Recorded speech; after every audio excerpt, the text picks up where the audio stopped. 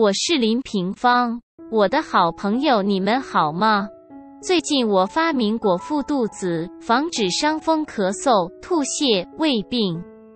果腹肚子这个发明已经三十多年了，不知道这个方法治病这么多，令我很惊奇。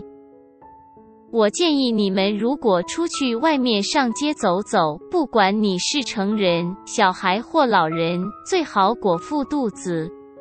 果腹肚子可以保持一个温度。如果没果腹肚子，突然去到有冷气的地方，你的身体的温度改变会影响你的身体伤害。这样可以保护身体防疫能力。在今天的疫情之下，可以保护身体的方法，我觉得非常大。我们身体里面很多器官也可以保护。我没有夸张，它能够医好我们的疾病，应该是同一个道理。这个方法不是教你们吃药，是果腹肚子。我今天看到全世界的人受苦，我很心痛。我希望我的发明能够帮助全地球的人。这个方法不止提醒你们，也提醒我。